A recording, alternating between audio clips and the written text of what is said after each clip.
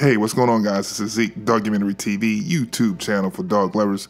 If you guys haven't already, please go ahead and subscribe to the channel. Also, uh, I want you guys to check out The Ridge. These guys make amazing products.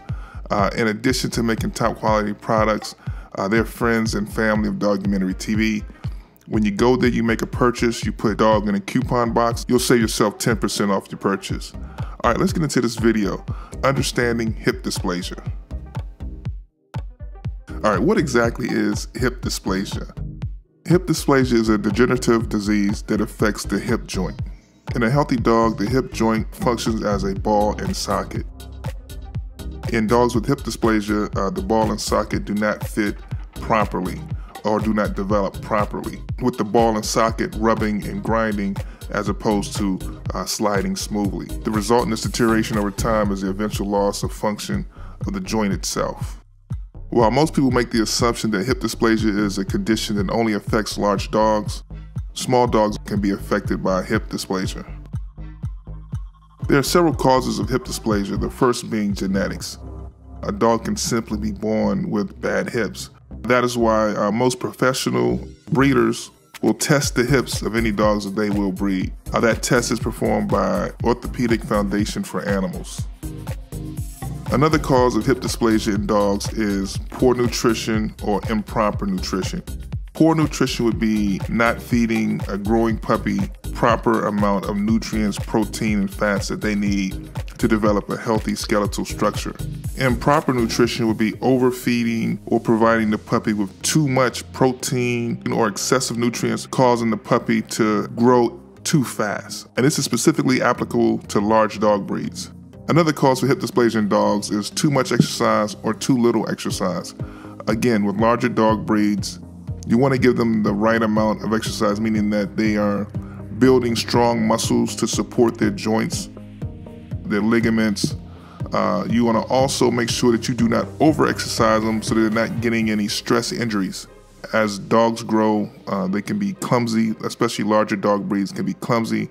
Their gait, their running form may not be perfect yet and they can develop uh, sports related injuries. Just like an athlete pushes his body to the limit, will develop uh, aches and pains. Dogs, uh, you know, puppies and dogs will do the same thing.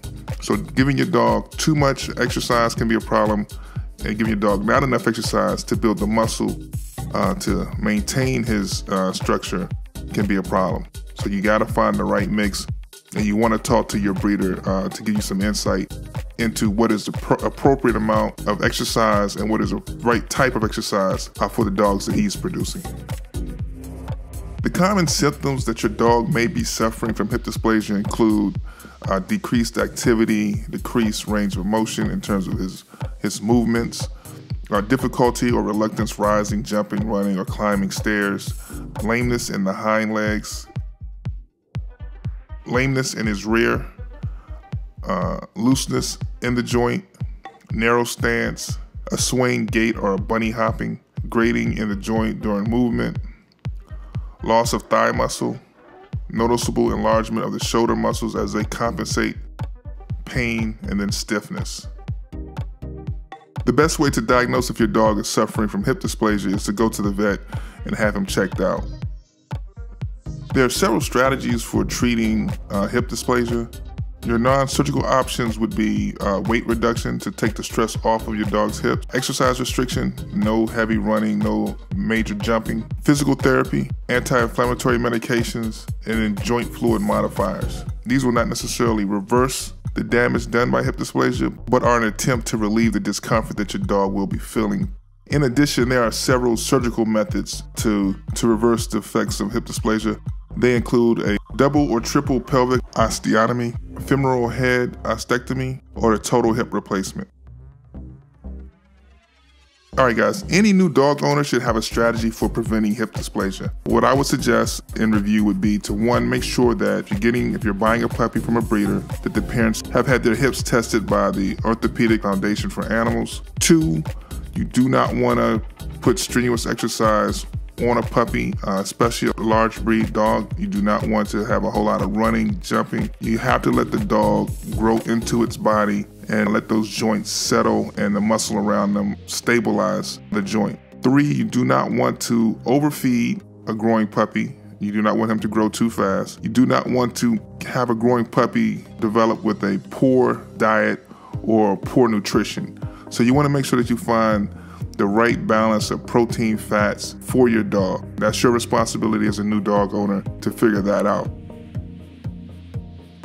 All right, guys, I hope this provides you guys with some insight into hip dysplasia. It is very serious and can be very heartbreaking to see a dog suffer through this condition. It's not a good, it's not a pretty sight. So do your best to prevent this and give your dog the best life possible. All right, this is Zeke. This is Dogumentary TV. I'll talk to you guys on the next video. Peace.